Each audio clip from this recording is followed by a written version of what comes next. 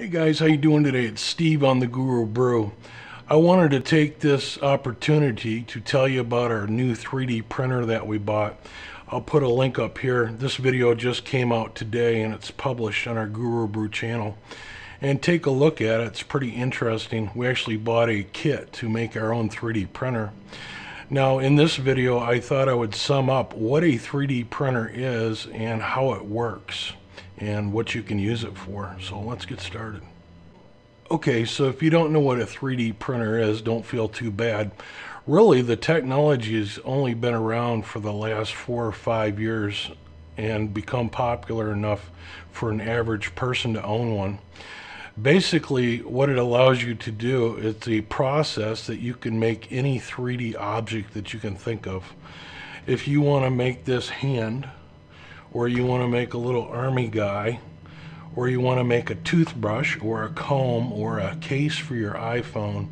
These are all things that you can make with a 3D printer. Really, your imagination is the limit. The process isn't very fast and it does take a few hours to create a project, but uh, you can make one-off projects very cheaply and it can be done now in your own home it's such a popular process now that Staples Office Products, the chain, recently started carrying 3D printers at the uh, Staples store. You can actually go in and buy a 3D printer. There's many websites that have 3D printed models ready to print. You can download what you like and just put it on your printer and begin to print. I'll talk about how these work. There's there's actually different types of 3D printers. There's additive and subtractive processes.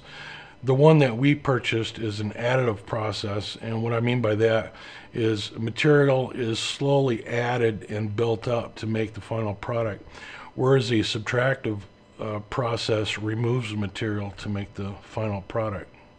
3D printing has been around since the 1980s, and back in the early day, there was a process that allowed photosensitive polymers to be cured with UV light. Now, 3D printers work on a principle of similar to a craftsman's glue gun, if you will. This is similar to how, how a 3D printer would work. Imagine that if I were to want to make this little army guy, and I could somehow very accurately start building up the glue over and over again until I got to the top and finally made this little man. Well, that's exactly how a 3D printer works, except instead of extruding glue out the nozzle, you use special materials. This is called PLA, and there's also ABS. They also have materials that have uh, wood fibers in it as well as metal fibers. And they also now have a rubberized material that's flexible. It'll allow you to make flexible phone covers and actual wearing apparel. Now the process is still slow, but uh, it's affordable. Back in the early 2010s, a 3D printer could run you as much as, I wrote this down, $20,000, if you can imagine that. Now you can you can actually build or buy one for less than a thousand dollars. Now let's talk about how it works. If you imagine an object such as this little army guy, if I were to take little tiny slices and just cut them up a thousand times, um, those little slices are then calculated and then squirted out with the nozzle, the hot nozzle. And that's exactly how it's done. It's just built layer by layer by layer. And that's why it takes so long, but uh, it's all computer controlled. So once you set it up, you can just let it run.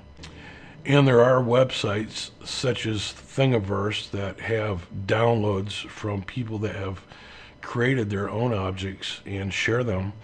And you can go on there and download a object. Say you want a pumpkin for Halloween.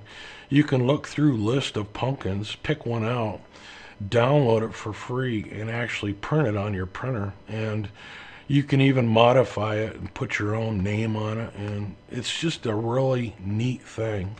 Now, I've talked about other materials that people have put through these, but there are stranger materials. They're also shooting chocolate to build eatable uh, 3D objects.